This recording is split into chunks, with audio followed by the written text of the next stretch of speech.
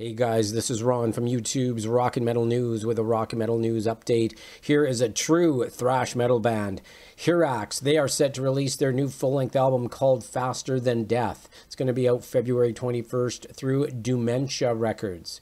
The album will be available on LP, diehard version, two colors, CD digipack, and cassette tape. Further details as well as pre order options will be available soon.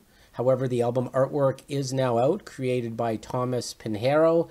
So you can check that out. Back in August, Hirax released the Faster Than Death 7 inch vinyl EP through doomentia.com. Track listings Drill Into the Brain, Drown Bodies, Faster Than Death, and Relentless. So you can check out the songs Relentless, and Drill into the Brain on YouTube. Both of those links are in the description. So this is for the true thrash metalheads. This sounds amazing. And uh, check it out. Let us know what you think of the songs in the comments. Can't wait for this one. This is Ron from YouTube's Rock and Metal News. Thanks for tuning in.